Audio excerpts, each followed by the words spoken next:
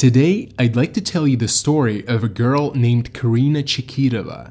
Karina lives in the city of Olyakminsk in Yakutia, the largest republic in Russia. Its territory is larger than that of Argentina, but very sparsely populated with less than a million people in total. The climate here is diverse, but invariably harsh. The record low temperatures across the region are almost all under minus 58 degrees Fahrenheit. Winters last for up to 9 months, whereas summers are short and cold. Given these conditions, the story of this young girl seems fascinating. Join me as we explore the tale of Karina Chikitova.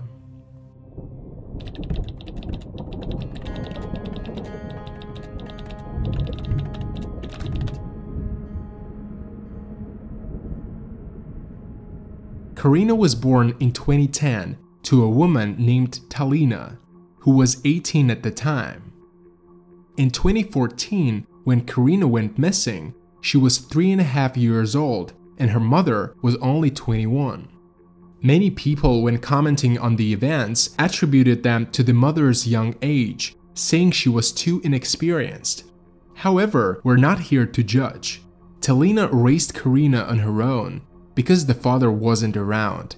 And though he was in the village at the time of Karina's disappearance, even his name isn't mentioned anywhere. The only thing that's known about him is that he has another family.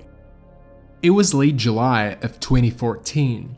Karina and her mother had gone to visit her grandma in the village of Olom. The settlement lies just over 40 miles away from Olyakminsk and is tiny. As of 2010, it officially had only 13 inhabitants, 9 men and 4 women. By 2019, the population had grown to 39 people, but the village is still only 10 houses in a sea of the taiga forest. The locals' main occupation is cattle breeding. By the time Karina and her mother arrived, her father, who had traveled from another village about 20 miles away, was already waiting for them. Talina soon went to help out with making hay for the cattle, and Karina was left with her father and grandmother. For most of the day, she played outside with her puppy named Kuri-chan, which means little guy in the Yakut language. At some point, Karina's grandmother went to have a lie down and fell asleep. In the evening, when Talina returned from haymaking, she and her mother searched inside and outside the house, but couldn't find the girl. The father was also nowhere to be found. The mother and grandmother decided that the dad had taken Karina to visit his place because he had been planning that for a while, so they didn't become worried.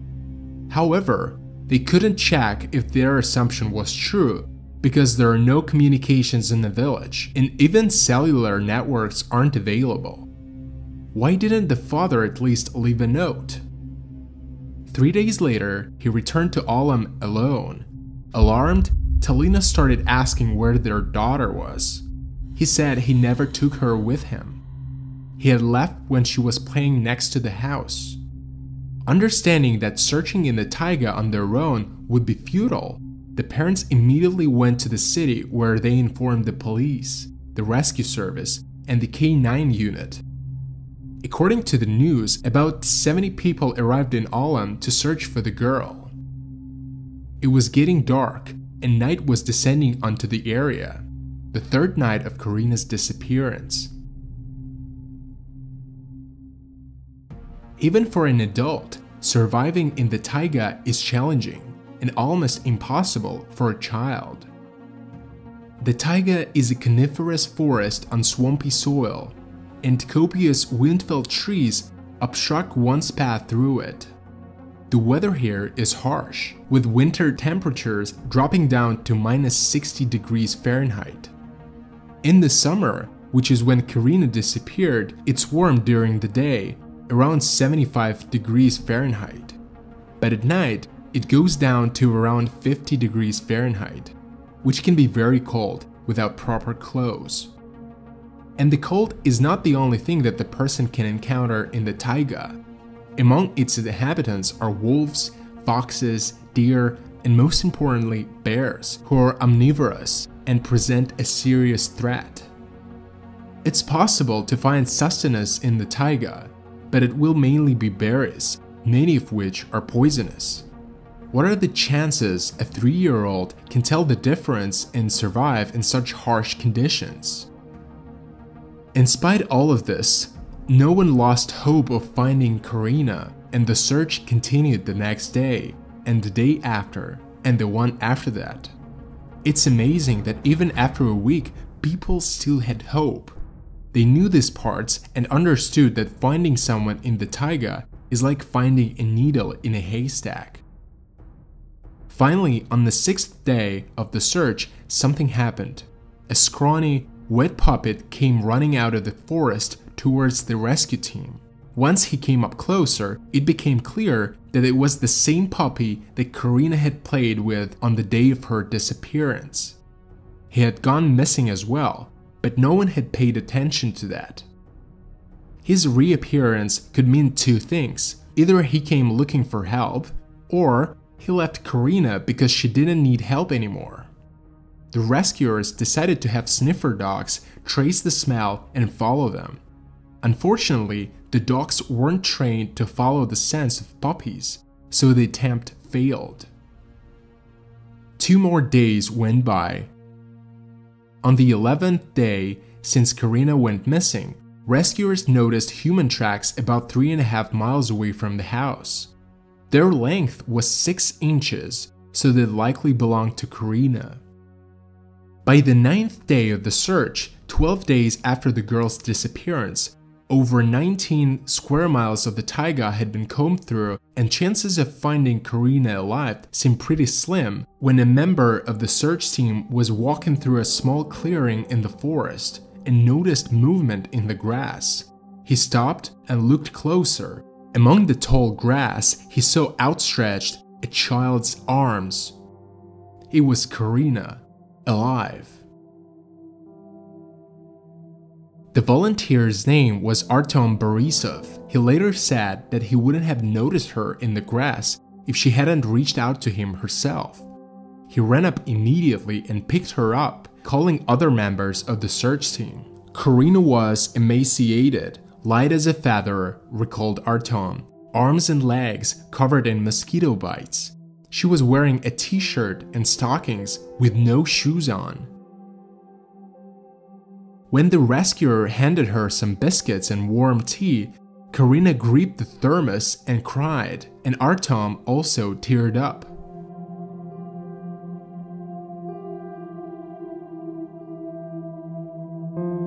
This moment was captured on film.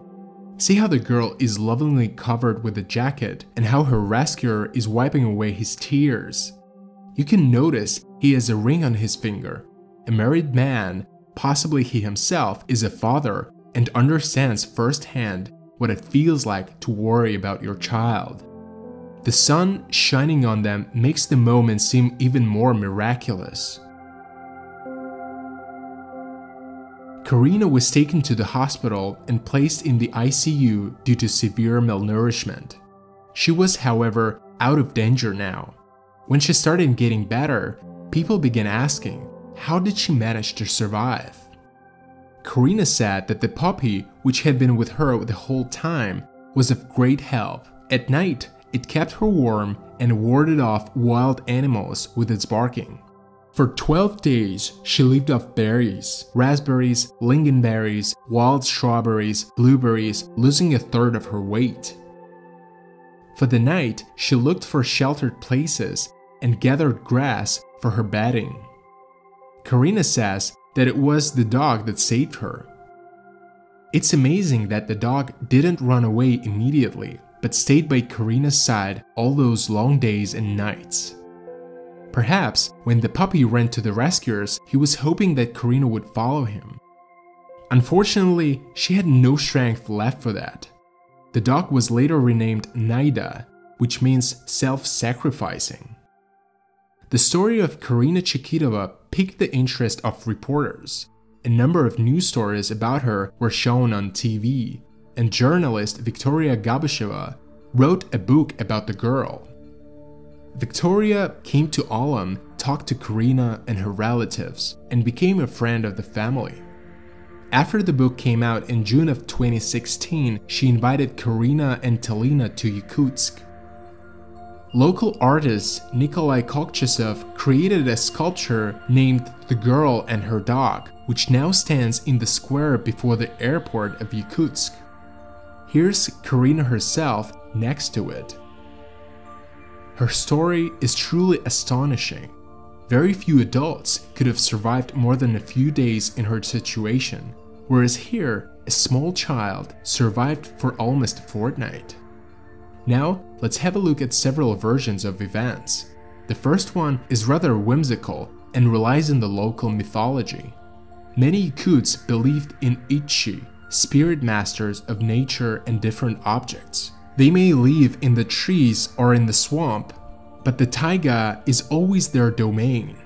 These forest spirits must be appeased, even if you're not planning on gathering berries or mushrooms, but are simply going for a walk. They are usually presented with fermented mare's milk, ribbons, or jewelry. Some locals believe that the spirits may have scared Karina, but maybe it was the other way around, and they actually helped her while she was in the taiga. Some internet users supposed that Karina may have been kidnapped, but that seems highly unlikely because there are very few people in the village and there is no one else around for miles except for deer and bears. The predominant version, of course, is that the girl got carried away when playing with her dog and lost her way in the woods. She had time to get away so far because no one had looked for her for the first three days. She survived because she didn't panic and managed to find berries and places to spend the night. And of course, the dog was of great help. Children usually respond to stress differently than adults do. They don't fully understand the danger of their situation and therefore do not panic or waste energy on impractical behavior. Children tend to have a strong self preservation instinct, which is not the case for many adults. Where is Karina now? It's been seven years since she went missing, and now she's 11 years old. In 2016, Albina Cherepanova, head of the local office of the Women's Rights Party, saw the book about Karina and the monument at the Yakutsk airport and decided to help the girl and her mother. They met while Karina and Talina were visiting the journalist Victoria in Yakutsk. Albina Cherepanova used her influence to help the girl and her mother start a new life. At first, Karina was sent to Children's Health Center. And then, they were offered the opportunity to start all over in Olokminsk instead of staying in Olom. And they took the offer. Today, Karina is a 5th grade student at the Yakut Choreography College. Local journalist interviewed the head of the college dormitory, and she said that Karina is now rather forthcoming and sociable, though when she had only arrived, she was a bit scared and kept to herself. However, Karina doesn't like getting attention from people outside her social circle or being photographed with them. It seems that she just wants to live a normal life. But what happened to her that summer in the taiga will hardly ever be forgotten by her or her family. If you enjoyed this video, like and subscribe. There'll be more fascinating stories like this one coming up.